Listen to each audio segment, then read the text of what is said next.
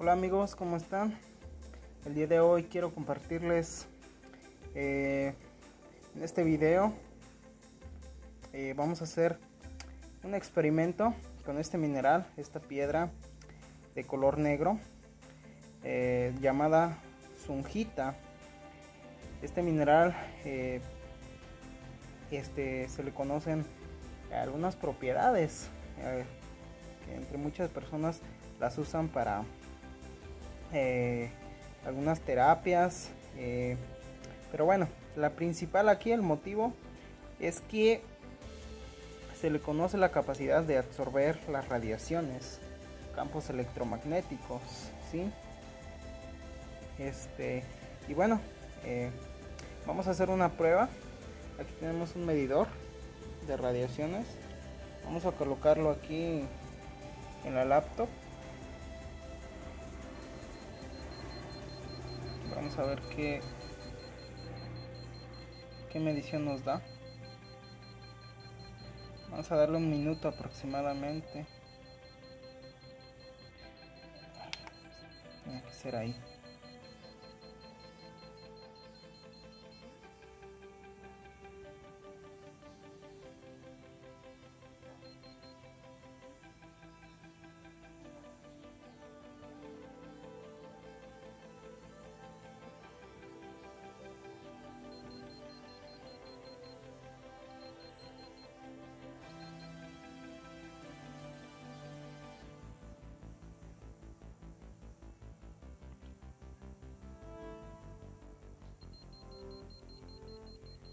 lleva 1.86 microteslas.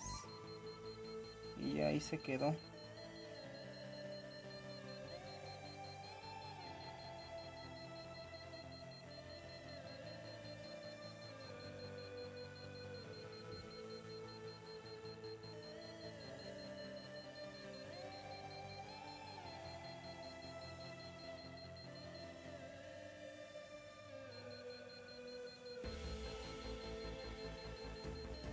86, 231.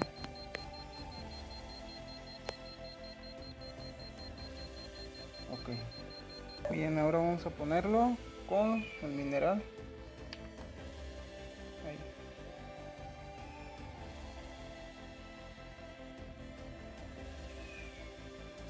A ver qué sucede.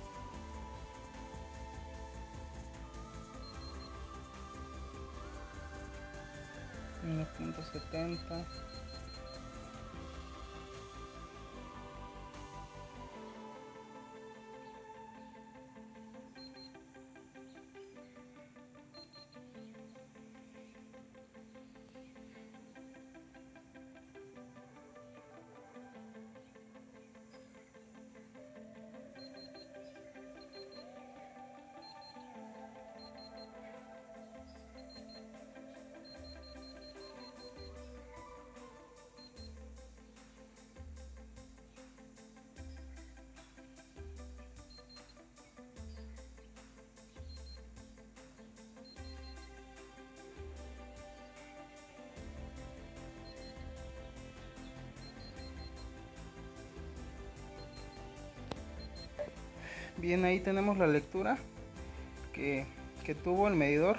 Hay mucha diferencia, la verdad. Eh, en comparación, cuando no teníamos la zunjita a un lado, hay una diferencia. Es notable cómo este mineral sí absorbe cierta porción de la energía que están emanando los aparatos. ¿Sí? Bueno, vamos a apagar esto.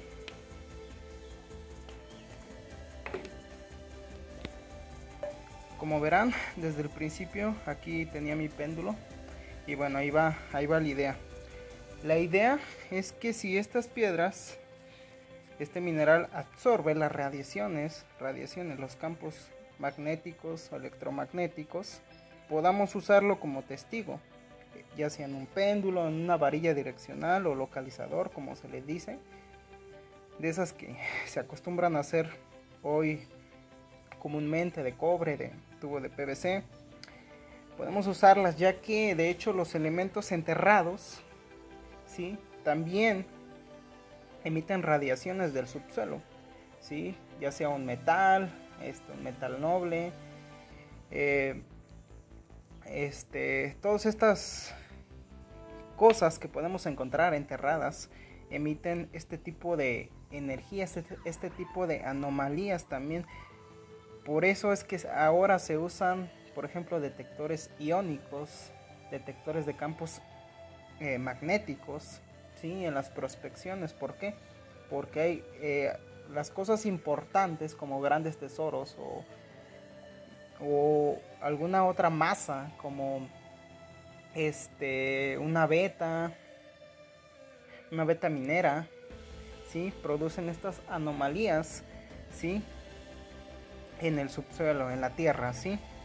es por eso que también eh, no sé si recuerdan el péndulo de este que anunciaban mucho los colombianos el péndulo guaquero el resorte que ustedes veía que, veían que tenía era un resorte magnético magnetizado ¿sí?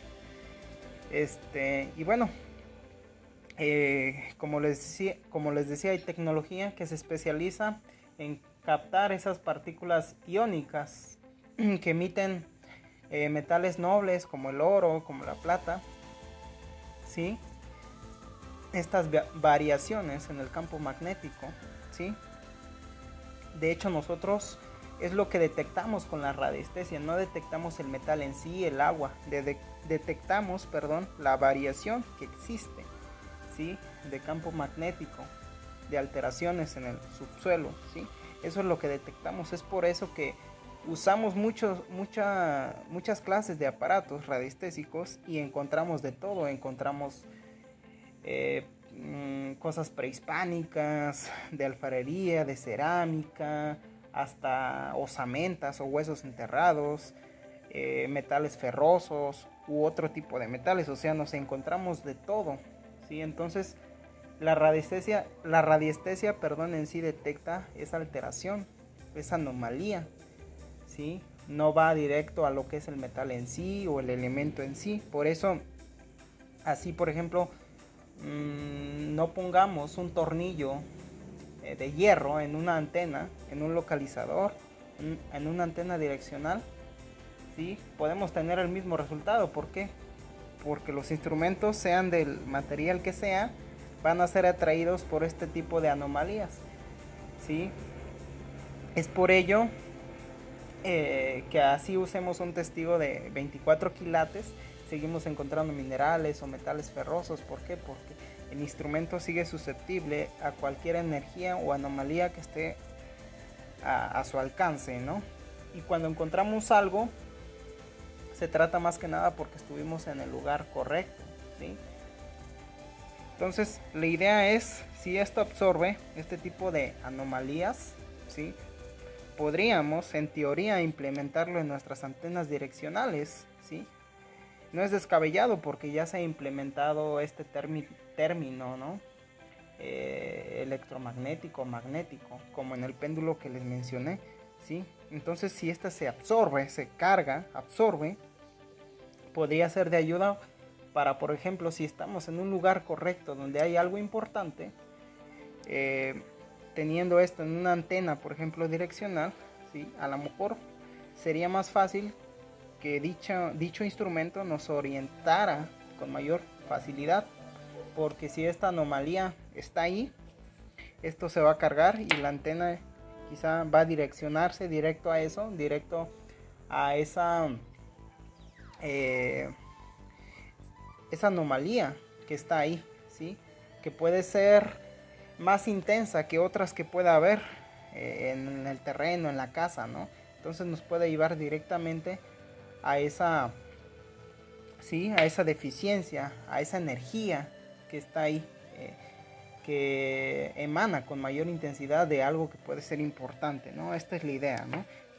Que la, zunguita podamos utilizarla. Ya vimos ya vimos el resultado con el medidor este de radiación ¿sí? con el medidor de eh, anomalías magnéticas o electromagnéticas ¿sí? como, como existe una diferencia ¿sale? espero que les guste el video gracias por apoyarme gracias por suscribirse un saludo y nos vemos hasta pronto